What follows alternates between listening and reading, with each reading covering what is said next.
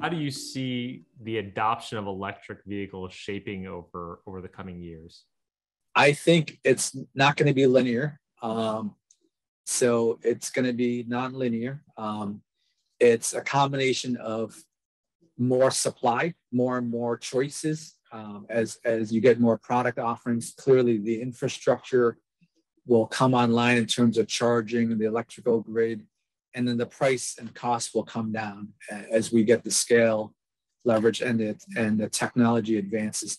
Um, I also think um, we're going through a bit of a transition now where folks are still overbuying. They they're buying more range than they actually use. We have connected vehicle data that, on average, our customers drive. You know, uh, I think uh, the average is only about 17 miles a day, and if we got up to like a 100 miles, we would we would cover you know maybe more than 90% of our customers' usage. But if you go poll them, they all say, I want at a minimum 300 miles of range. It's a bit of this overbuying culture, which I think is probably um, somewhat of an American uh, phenomenon, right? And so I, I think over time we'll see people become more comfortable with right sizing the the battery capacity, which is going to be good for for everyone, including uh, for us, for the environment, for the, the supply chain.